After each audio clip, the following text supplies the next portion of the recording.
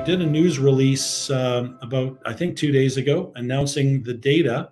And so, just to walk you through the experiment, we took uh, rat neurons from embryos and we exposed them to various concentrations of DMT. This is vehicle, so no DMT, just the um, substance that was used to deliver, uh, solubilize the drug.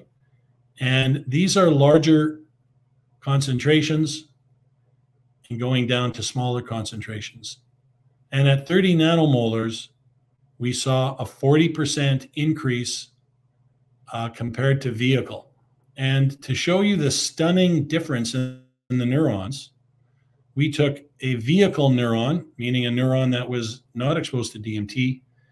And then we've shown here two separate, this is a neuron you're looking at after exposure to DMT. And you can see just the number of um, of these spines, these and then processes, which is the dendritic spines, the difference between the 30 nanomolar exposure compared to vehicle.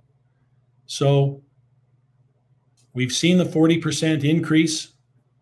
The second 30 nanomolars is very, very low, below the 0.1 nano um, um, milligrams per kilogram. So, to I, I've had a few colleagues call me after they read this news release, and they said, you know, we're not scientists, and they thought maybe it was a bit too complex. And I, I just said, look, think about the reverse. What if Algernon stepped into this space? We did this experiment, and we found that the neurons that receive DMT look the same as vehicle. That would mean that in our experiment, we couldn't recreate this growth, this activity. That would be bad news. So we've announced we can see that 40% increase. We validated that study. The second thing that we found was a sub psychedelic dose showed the best performance.